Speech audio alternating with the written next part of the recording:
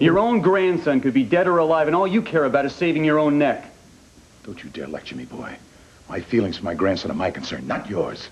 Oh, then you do have feelings for Cord. Will wonders never cease? Damn it, Abbott, we're talking about that letter from Mitch to Viki. Did you tell Cord about it, or didn't you? Hey, hey, hey, hey, hey, what's all the racket? I can hear you guys yelling out in the driveway. Oh, uh, it's, it's nothing, son. It didn't sound like nothing to me. Well, Asa wanted to know uh, how we were going to handle Dorian's confession for tomorrow's banner, and since no one could get hold of you... Well, there's a good reason for that, Richard. What is it, son? Oh, I was up at the cabin, Paul. I came down with something. Oh, hey, maybe you should take a nice vacation. Maybe join Viki. No, no, no, no. All I need is some work.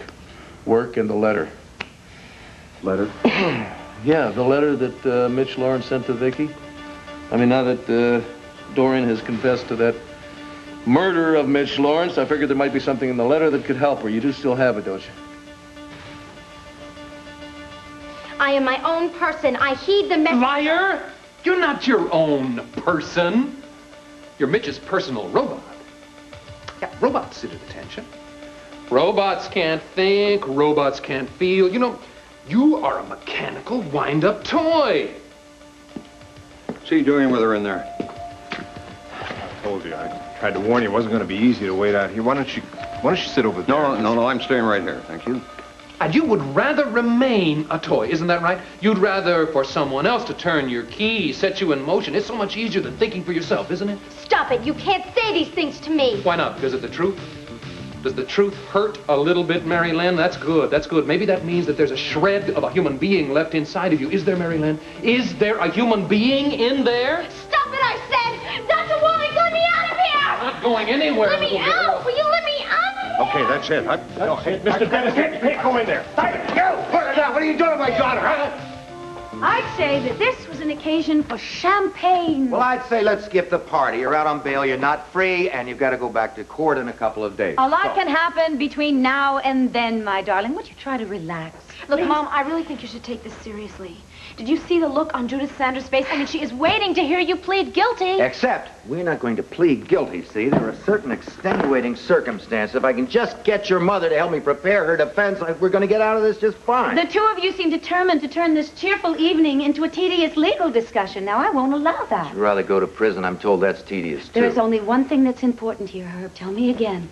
That Cassie can never, ever have to stand trial for Mitch's murder. Dorian, for the 19th time, I'm sure she cannot be tried twice for the same crime. It's called double, jeopardy. Double jeopardy, double jeopardy. I just love the sound of that. Good. It's double jeopardy. So that makes my defense really rather simple. It does? Yes. I just tell the judge I deny the whole thing. You what? What? You both heard me. I'll tell him I never did it. Dorian, you confessed to the murder of Mitch Laurence, and now you're taking it back? I've never held you to your word, have I? You said it in court. Yes, but that's because I was trying to keep Cassie out of court. And look at her. Is she behind bars? No, she's back in the bosom of her family where she belongs. You belong in Mountain View. You can't just make a confession to a murder and then turn around and deny it. Why not? I mean, for goodness sakes, would you rather that I go to prison? No, Mom, nobody wants you to be in prison.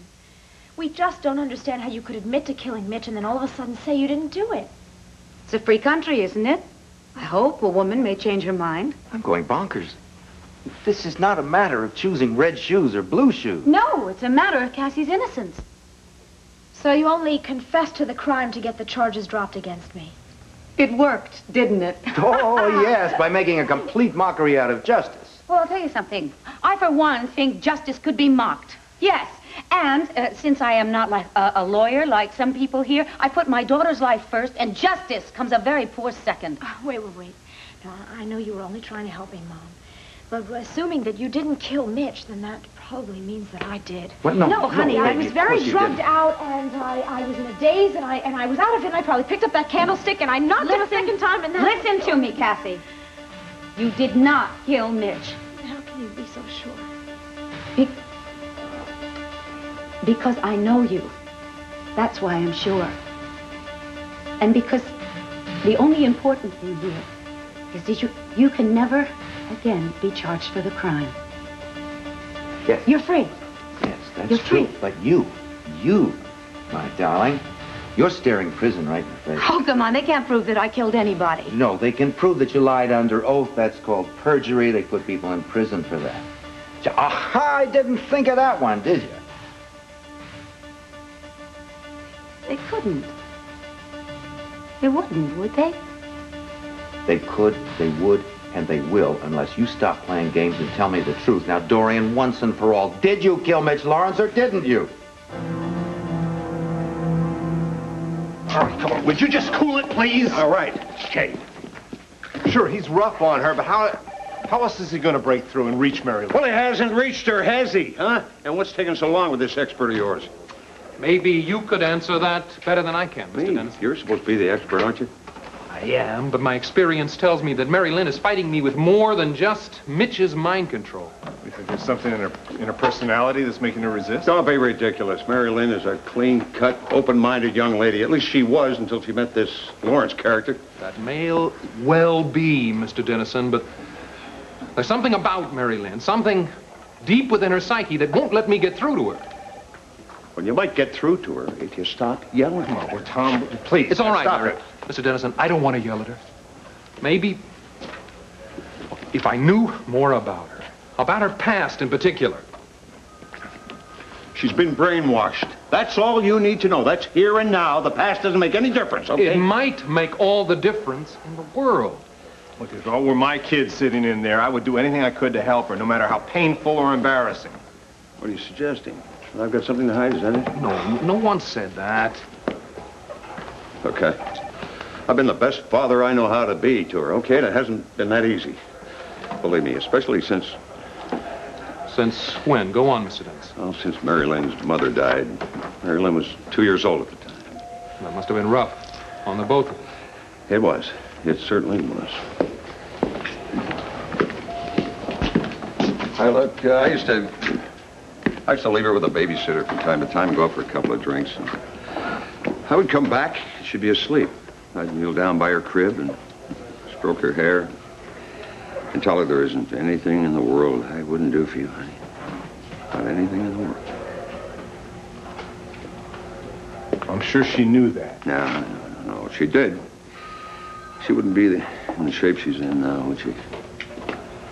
Look, something tells me that your daughter needs you a whole lot more right now than she needs me. Why don't you go in and talk to her? Oh, yeah. yeah. What am I supposed to say to her, huh? Say what you feel.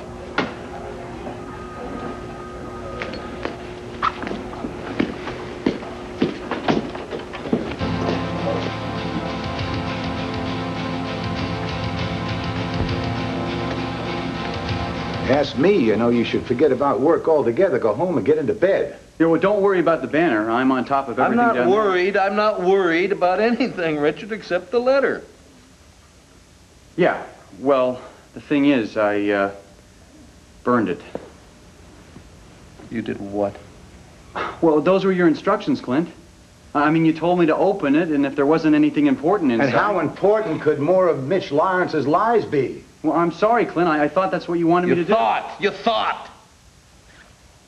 Damn it, Richard, I didn't mean for you to take me so literally. Dorian Lord is, is facing a murder charge. There might have been something in that letter that could show the court that Mitch Laurence was not some innocent victim. Yes, well, uh, I'm glad you burned the letter, Richard. What if Viki had seen it? We don't know how upset she might be. Yeah, I just wish there was some way that we could help Dorian. If you testified to the contents of the letter, it would be thrown out as pure hearsay. Well, you're right, Asa. I mean, you really have to read it to believe it. Oh, now, hold on just a minute. Is this a private party, or can just anybody join in? What is this, on the fever acting up? No, no, not, not no fever acting up. I'm not so damn sick I don't know when I'm being jerked around. Now, what do you two know that I don't?